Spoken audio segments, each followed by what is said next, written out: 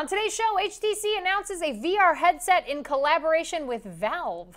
A composer is making music with slime. And 3D printed food that grows its own filling. Oh my god, HTC Half Life 3 confirmed. It's Tomorrow Daily.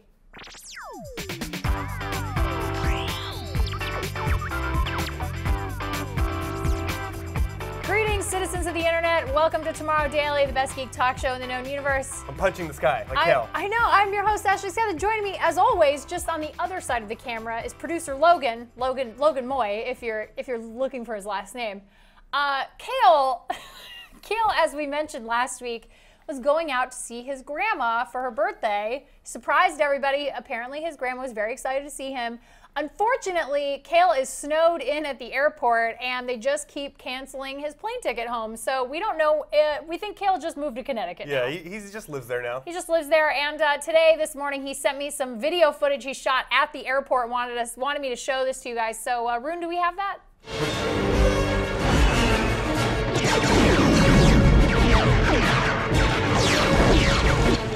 Looks So exciting there. Yeah, people are really upset about missing their flights. Uh, so come home soon, Kale.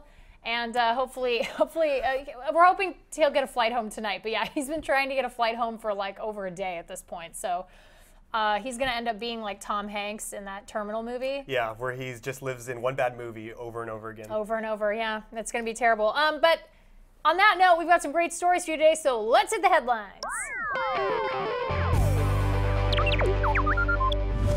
This was a story I was bummed Kale wasn't here to talk about. It's a very Kale story. It is a very Kale-centric story. HTC announced at Mobile World Congress in Barcelona this weekend a VR headset, and not just any VR headset. They developed it with Valve, creators of Steam. and they're the first video game company to kind of get involved with the VR as a brand, right? Like Right. branding VR. Um, well, Sony's had Project Morpheus. Oh, that's right, But that's right. but it hasn't. It's still not come to consumers. Nothing out there is like really retail that are these sort of PC gaming uh, virtual reality headsets. So I'll explain a little bit about this.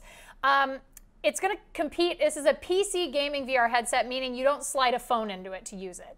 So we have like the Gear VR, where you put your phone in and then you use it. And you have to pretty much have a specific brand of phone to be able to use it. So. Right. Um, so this is actually a standalone VR headset that plugs into your PC. It's called the Vive or the Vive. I think it's Vive. Vive. The I like Vive. HTC Vive. Vive. The like, Vive. Like live. Live like Vive. Um, I'm gonna be. I'm gonna take the French tactic called the Vive. It's the Vive. Um, so it's a partnership with Valve. There is uh, HTC's Peter Chou showing it off. It uh, again does not use a phone. Standalone headset uses a PC. Uh, they talked about at Mobile World Congress using a pair of controllers, which would suggest something similar to what Sony uh, has going with their PlayStation Move, where you have like sort of it looks like ice cream, Yeah, like the sticks. It seems like a good alternative to having to buy an entire stage that you can walk in place on. Very true. And um, and so what they were saying is uh, they promised full room virtual reality via something they're calling room scale experience. So that you can actually walk around objects, like they're going to scan your room. The the headset itself has room scanning technology in it. So the, the headset has like a camera on the front of it then. It has like a scanning technology, sort of like a Kinect almost, where it would like scan the room, and then you'd be able to sort Nice. of yeah. And then uh, so they want to release a developer edition this month, which is really soon. Uh, which means they are ready to immediately get into development, which is cool. And then consumer headset later this year basically goes head to head with Oculus. So it's going to be this holiday season is going to be a, this is going to be the hot ticket item. I think I'm calling it now. It's it's not even it's like 10 months before Christmas. VR headset is going to be the hot ticket item. Are you going to get the first generation of consumer VR headsets? I think I have to. Yeah? I feel like I have to. I just want. I just want to have it. I've tried the Oculus Rift demos. I like. It's just so cool and so fun to use, and I just really enjoy it. I, I gotta. I'll buy it. I don't know if I'm willing to pay twice as much as what I will pay two years from now. Fair. Um, but I'll go over to your house and use yours. yeah, yeah. You can just come over to my house and use, use it. It's totally fine. But yeah, so really interesting stuff. You can go over uh, to HTC's website. They have uh, everything, and then we also have some stuff on uh, CNET that we'll have later this week with the uh, the the Vive, which is pretty cool. It was kind of surprising that they held the event on a Sunday. I didn't. I wasn't expecting to wake up and see tech news ye- uh, yesterday. So that's uh, that's a Mobile World Congress thing. So they uh, just kind of like CES, where everything kind of starts at the beginning of the week and then goes through. Uh, Mobile World Congress is sort of press day is like that Sunday, and then they do all their press conferences and all the news comes out, and then and then they have the rest of the conference sort of do things, and a a whole bunch of CNET is at is in Barcelona right now. Um, and to those people, I say, uh, hola, and I don't know, I have good luck. Buena suerte. You have to do a little list because they're in Barcelona. um, but yeah, so good luck. Have a have a great trip at Mobile World Congress, and uh, and yeah, so that's uh, that's the that's the haps over at MWC. Some really interesting VR stuff. Tell me about about this professor with the slime mold because I'm you're really into music. Yeah, so a professor slash composer made um, is making music or making a, a musical duet with using fungus, a biocomputer, an iPad, and some slime. Weird. Yeah. So what what happens is, um, so he plays he he'll, he has a grand piano and he plays the Okay. music. He plays notes on a grand piano. Okay, so I'm the professor. It is then picked notes. up by a, a piece of fungus, which is known to uh, to be able to read audio signals or audio notes. Okay, so I play my piano into a microphone. Microphone sends sends music, my music, piano music to the fungus. Yes. Okay. And then the fungus, much like we learned in Ghostbusters, can fungus and slime can transmit electrical signals. Ooh. So the fungus then interprets these musical notes and sends it t- through the biocomputer, which is able to interpret the the messages being sent from the fungus. So as we're looking at this video, if I'm not mistaken, that stu- the wires right there that are coming out, that's actually going down into the fungus. That's okay. So that's the piano. Obviously, I'm not completely boneheaded. Mm-hmm. Right. But those go, and then there's a the the fungus is part of a biocomputer. Yes, so the Okay. fungus is inside the biocomputer or Got it. surrounded by it in some way. Okay. And then so when, when the fungus receives the musical notes, it then transmits its own signal out of out of the fungus through the biocomputer, and then it controls it goes to an iPad which then controls these uh, these magnets that are hovered over piano strings. Ooh. And so the fungus is is taking the, the music from the piano, interpreting it and sending it out to make its own music. That is the weirdest thing I've ever heard of. And now the now the composer, rather than just control a piece of fungus, decided to play along with it. Well, And why what- would you not? As one does. right? You it, have a chance to play music with nature. Why not? We Yes, saw it with the with the uh, tree stump vinyl. Oh yeah, yeah, the tree stump vinyl. Yeah. That's true. Okay. So, but the music sounded very sci science fictiony. It had like a lot of weird tones. Do we- we actually have a sample of it. Um, if you want to go Let's ahead and take play a that. listen. So if you're if you're listening to it right now, um, which you probably are, uh, you, it sounds like almost like out of 2001 or, I was gonna or say a something space similar. odyssey. or- Yeah, it's very uh, the very uh, very bleak and and uh, It's a little depressing. Yeah. and a little, uh, it's just very sci-fi. Like it has that weird B movie sci-fi, like almost like um, a theremin, but not, but much more digital. Yeah. but it like- sounds like a synthesizer, Building a- but it's like a not at all. It's it's all analog instruments. weird. Um, the the sound is coming from from the magnets, which is rather than plucking a string like a piano hits hits a string and Right. makes the It's just reading a response from the fungus. Right. And then the iPad's telling, saying, okay, here's your response, and now I'm telling what the electromagnets Yeah, on the so it's, piano it's vibrating the strings using magnets as opposed to actually physically hitting the string. That's weird. So that's what's causing the more of the, the synthesizer sound. Can we expect the mold to do a collaboration with Kanye West this year? Uh, yeah, but it's a surprise, so you don't Oh. want, we, we can't say too much Okay, about it. I won't say anything about it. Um, so that brings me to our hashtag of the day, actually. TD Duets is our hashtag of the day. And uh, I think the question is what weird musical pairing would you want to hear? Uh, for me, it would be I would want to hear Taylor Swift collaborate with the sounds of her digestion after she eats a sandwich. I want to hear, I want to use the fungus, 'Kay. but I want it to play black key songs using only the white keys. Oh, I like it. I like it. It's gonna it's really upbeat Black Keys song. It's a lot of minor stuff and sharp stuff. Now it's gonna change. Yeah, it'll, it'll be get, really it'll get your foot tapping. Okay, guys. So that is your hashtag of the day. Hashtag TD duets. What what other weird musical pairing would you want to hear? So like a like a musician or person, and then something maybe in nature, or maybe you I don't know. You want to hear the Or get sound clever of- with a band name. yeah, get cl- get clever with it. Whatever you guys want to do. Um, okay, this very last story is super creepy, and I but I'm also really intrigued, and I feel like I would try it, even though I don't even like mushrooms. Okay, so making 3D printed snacks, like we've like we saw at CES, is kind of hard because when you 3D print, it's a paste.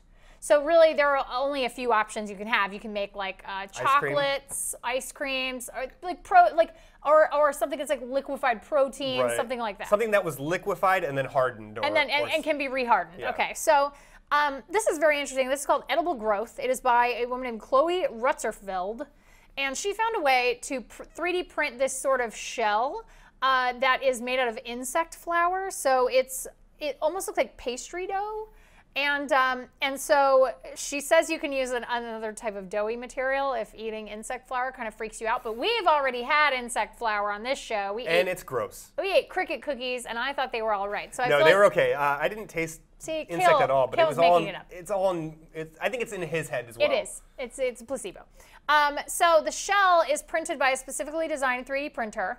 Here's what they look like. They kind of look like little, almost uh, like honeycombs ish. Yeah. Um, and so this is the crazy part. So they print out this little shell, and then inside they put this edible center that's made of agar, and it has seeds, mushroom spores, and yeast. And you give it five days, and it grows its own filling, and then you eat it. So you're just eating a bunch of spores and fungus then. You're eating mushrooms and you're eating uh, well no and then there's like you could grow like little herbs out of there and stuff. So maybe you eat like a little bit of sage or something that is growing out of there too. Are you eating any 3D printed material? Well the the um the actual shell of it is 3D printed. Oh, the shell's edible. Yeah. Oh, Oh, yeah, great. totally. So it's a it's like it's made of insect flour. So they 3D print out that little like 3D shell, that little round spherical shell, and then they put the agar, the edible agar in there, and it has like spores and, and different things, the seeds and everything, and then you let it grow for five days, and then you eat your snack. Oh wow. And she was saying like you could give it time to depending on how intense you want the flavor to be like that's how long you'd wait to harvest it. So if you wanted really intense bold flavors you'd wait the full five days. But if not you'd do it like two or three days in. How many of these are they able to grow at once? I'm thinking mass production right now. well mass production uh, see the thing is is i would imagine it would probably be pretty slow to print out the little shells.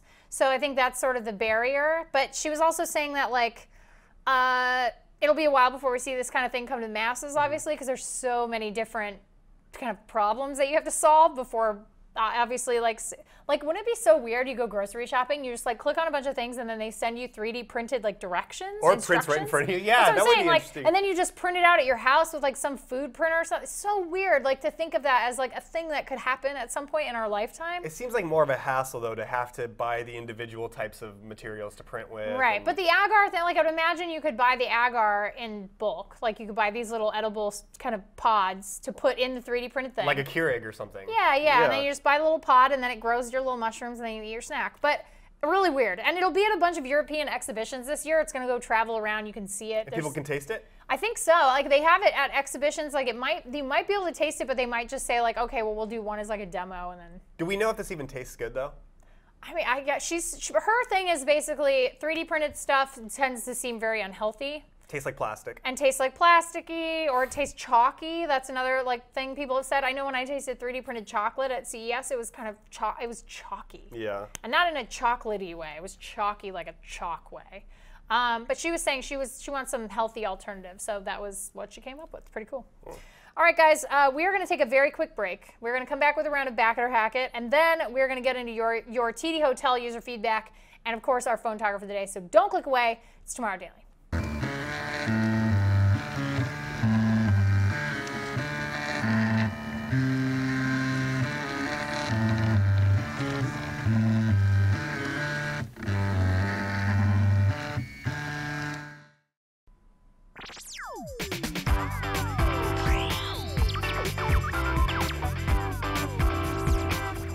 Welcome back to the show. I can't believe somebody actually figured out how to rig an old, I want to call it an old timey printer. It's terrible. An old timey printer to play the Jurassic Park theme song. Yeah. Uh, hopefully, it just doesn't run out of ink pretty quickly though. Oh yeah, no, it's gonna be really bad. You replace, you got to replace the toner. Yeah, the, the musical toner. Yeah, musical toner. Uh, that was a terrible joke, which means it's time for another segment. This is Back It or Hack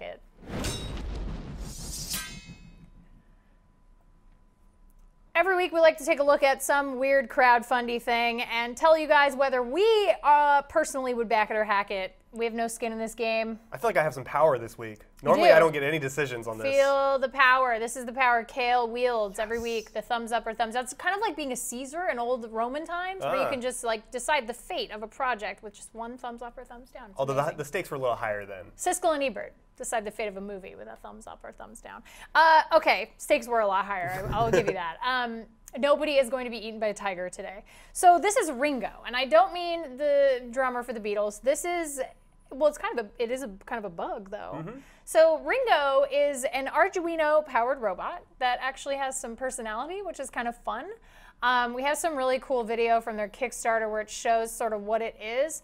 So this guy, uh, his daughter helped him design this. She's really into programming. Apparently, she's under the age of five or is five and knows some programming, which is Wow. crazy. Like she's she, she likes coding, and this kind of got her into that. So Ringo, again, Arduino powered, has an accelerometer, a gyroscope, LEDs, music chirper, ambient IR light sensors.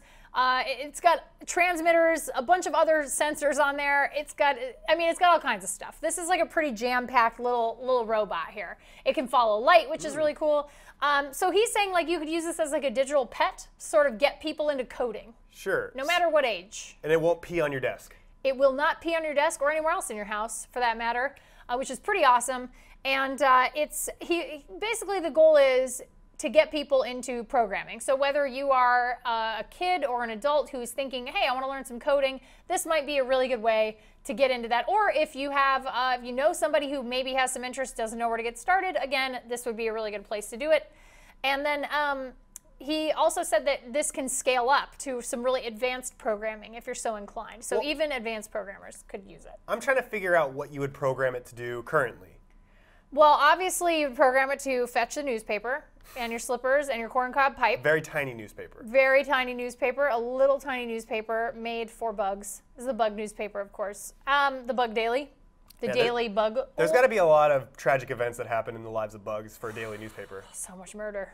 So much tragedy. That's true. I don't want to read a bug newspaper. That'd be the most. I think our news is depressing. It's even worse. It's even worse in the when bugs there's world. like giant terrorist uh, uh, attacks essentially happening to all their communities every day, second every of day. every day. It's Yeah. just uh, and it's just a person's foot. Like it's just terrifying. Uh, they can talk to other Ringos. Like you can have you can have them swarm if you want. So if you wanted to create your own bug army, I mean, you could do that. A robot bug army. Um, so here's okay. So here's my question.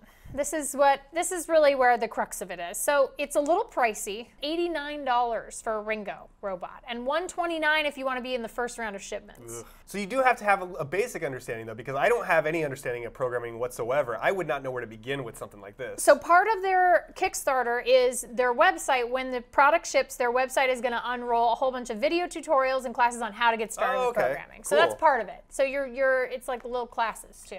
That almost seems like it makes the price point worth it because Fair. you pay hundreds of dollars at a college to go learn that stuff. That's true. But with this, you get a little robot, you get uh, the basic Some like video instruction. And then of course you'll have access to the open source community who if you want to take it a step further after you get past those like basic instructions, you'd be able to have all those resources at your in addition to the internet in general, that's just a giant resource. giant kind of resource yeah of course i say uh, if this seems like a really awesome thing and you you know for a fact you really want to get into programming like i say back it but if not i say mm, Yeah, if you have plans on get a going raspberry pi on going further than this, you Yeah. sh- it would be a good investment. But if you're not sure what do you think yeah, I don't know. I wield can. that power logan I for personally, I don't want to get into programming. I'm not. I've never had the mind for it. Uh, I could see this ending up in my kitchen drawer with all, with all the AA batteries that are Hmm, half charged. i see i see Um, so for me, I'm gonna say no. But I also, but I, I do like that it is. Uh, I'm gonna say hack it. I'm hack it. Hack it. Hack That's a bad one.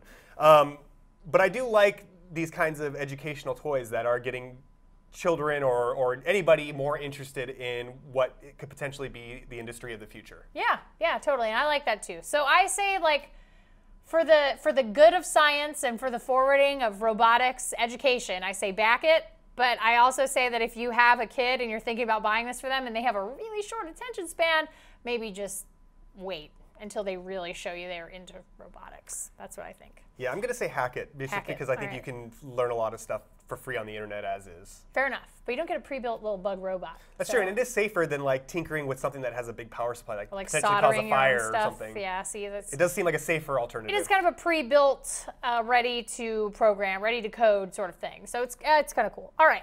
So now that we're done with that, uh, I promised you guys last week, and we're so sorry we missed out uh, to talk about your user feedback for TD Hotel. So uh, let's hit user feedback. Okay, so TD Hotel, uh, what was your answer? What's the what's the themed hotel that you want to stay at? Because we talked about the Godzilla Hotel, And a lot of people thought that was really cool. Uh-huh. But uh, a lot of people, you guys had way better ideas than the Godzilla Hotel. I just want to say. Because they came up with amenities, like activities to do in the hotel. It's like crazy. I want to stay in a Power Rangers Command Center themed room where I want a, an LED Zordon on the wall and, and, I like that. you and he can respond to you and talk to you much like Siri. I like it. It's pretty good. Um, okay, so Josh wrote to us first and said Nostromo Alien Hotel, air duct crawling sounds, flamethrower marshmallow roasting, and air vent play area for the ch- for the kids. Uh, which that is great. and then Fritz wrote in and said Gundam theme hotel since there's a Gundam cafe already with anti gravity hallway and room also. Do you get to walk around between the hallways uh, in a Gundam? I think so. I think that would be the point. It's like the hotel is a Gundam. Ooh, what if like to get into your room, it's like getting into a Gundam. Like it, a big door opens up and you have to like essentially get into a seat to be able to flip around and get into the room. That would be amazing. I would love that. Um, and then Neil wrote in and said, "Hotel themed on Cube movie. The rooms shift every hour. Hashtag Where the toilet go." That's a, that's a scary thought. That is really terrifying. A terrifying. cube themed room. I actually thought um, after I read his tweet, I was like, "Man, why didn't I say last week a portal themed hotel would be great?" Where you have the speed, the speed goo, and you can like run really fast, and like the bounce goo. I think it would be great. I. So the technology fun. included then. Yeah, the, with testing. You gotta have the testing. But no, and the turrets don't actually kill you. They like they like put like rays of happiness on you or like massage you or whatever. Uh, okay, then Leo wrote in and said, I would die a thousand times to sleep in an Adventure Time themed hotel featuring the Ice Kingdom and Bubblegum, Bubblegum Kingdom. And uh, you know, Leo, I bet you are jumping for joy this morning when you found out there's going to be an Adventure Time movie.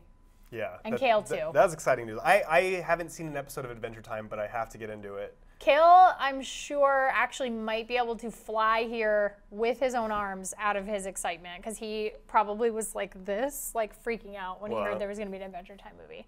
Um, Kylie wrote in and said, My TD hotel would obviously be Princess Toadstool uh, Peach's Castle. Who wouldn't stay there? That would be awesome. I remember uh, when I was playing Mario Kart on the N64, uh, the track where you're, the Pe- Peaches You drive Raceway. past. I would, I just would just free roam around that place just because you could roam around. It is a really nice castle. I'm jealous. Yeah. I feel like she's like the coolest royal ever. And then lastly, Jolly emailed us and wrote in and said, I think I'd like a hotel where every room or floor was themed on a different movie property, and then they would move you between them every day. You could go out for the day and come back to get surprised with what film you were in for the night. Yeah, I really like this. This is a really good idea. Yeah. I think that like you go in, you have one room, and the next thing you come home at the end of the day, come back to the hotel, and it's like, oh, here's your other room. We moved all your stuff. Now it's Indiana Jones. Now it's Indiana Jones, and you're gonna watch Indiana Jones That, tonight. that would be great. And then you wouldn't have to decide on a theme that way because it'd be several themes in one. You know how you could do that? Jolly. I listen. I'm with you. Projection technology. Oh, yeah, like You those like, entire room projections. Total room projection, and it changes the theme of your room every time you go into it. Like when you hit the key, Uh-huh. it changes the theme of your room. That would be great. Done. You're welcome, hotels. I just made you a billion dollars. All right, guys, it's time for our very last piece of user feedback, which is always our photographer of the day.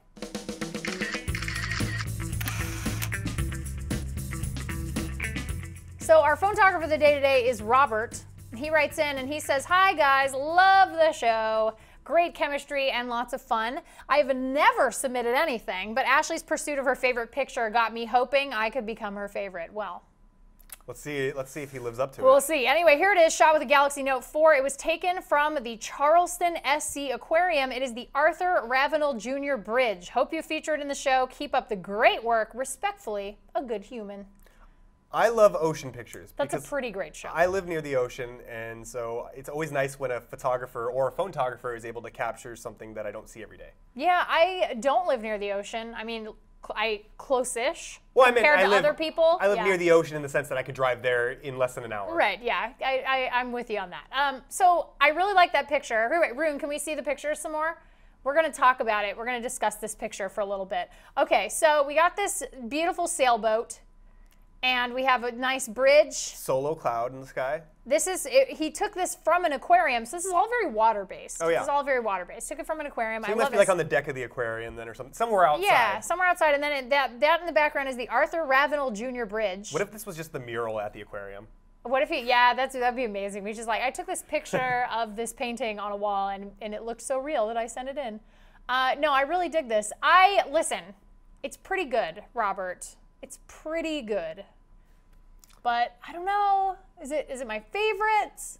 I mean, it's so close. Like, I mean, you know, maybe if there's a dolphin jumping out of the water, that's what would have made it my favorite. yeah. I think Some that's what I'm gonna start doing. I'm gonna start telling everybody what would have made that picture my favorite if it's not. photo. What's missing? I'll tell you. Uh, and if you want your photography to be featured on the show, uh, you can send it over to us to be considered to tomorrow at cnet.com. You can also send us story ideas. You can send us tips and tricks, uh, game genie codes, whatever floats your boat that day. It's totally Game fine.